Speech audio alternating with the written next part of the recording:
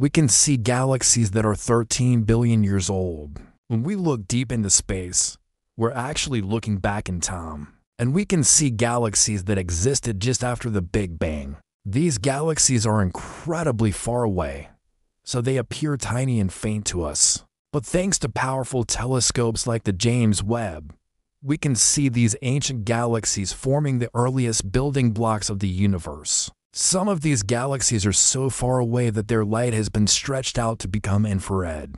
And because the James Webb telescope is so sensitive, it can detect this faint infrared light and show us these galaxies in incredible detail. By studying these distant galaxies, we can learn about the formation of our own Milky Way and the evolution of the universe as a whole. It's amazing to think that we can observe the birth of galaxies from so far away. Space news that's truly out of this world only on our Galaxy 83.